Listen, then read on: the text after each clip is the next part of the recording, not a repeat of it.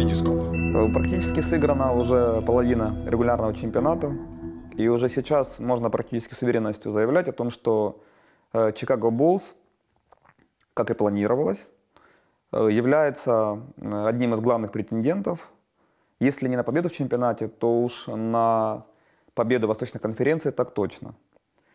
Э, Буллс показывает уверенную игру, прекрасно вписался в состав э, Газоль, Э, уже все более уверенно себя чувствует на паркете э, Никола Миротич. Э, Джимми Батлер под руководством э, Тибода вообще превратился чуть ли не в одного из лучших атакующих защитников.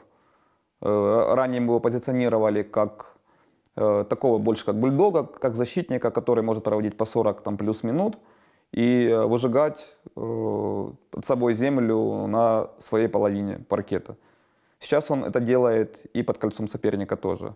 Вернулся Дерек Роуз, э, вернулся, если не в оптимальных кондициях, то в достаточно хорошей форме.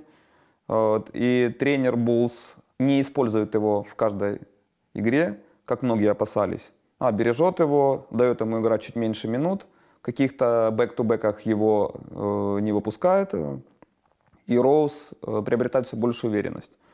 Буллс э, великолепно играет в гостях, что подтверждает э, силу этой команды. Более того, из нескольких поражений гостевых всего одно было, когда все лидеры этой команды были в строю.